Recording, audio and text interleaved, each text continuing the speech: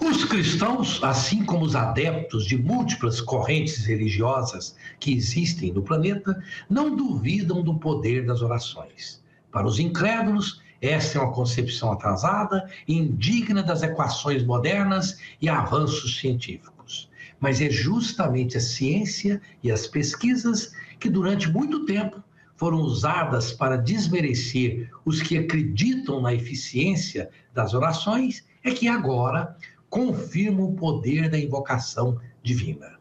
O prestigiado professor e neurocientista João Paulo Gugel, que atua na Inglaterra como especialista em inteligência emocional, realizou investigações criteriosas mostrando quantas orações contribuem para diminuir o estresse, mudar positivamente a química do corpo e produzir uma onda de equilíbrio em momentos de tristeza coletiva ou pessoal.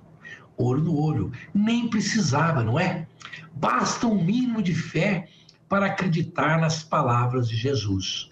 Onde estiver um ou mais reunidos em meu nome, ali estarei.